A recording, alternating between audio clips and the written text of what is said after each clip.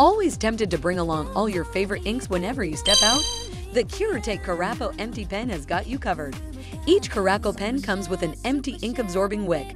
To fill it with ink, simply immerse one end of the core into the ink, wait for it to absorb, then insert it into the pen. Finally, cap it and it's ready to use. You can also use the labels to mark the pen's color. Additionally, Karappo pens come with two types of nibs to suit different writing scenarios. You can also mix ink to create personalized shades. Do you know a color that few people are aware of?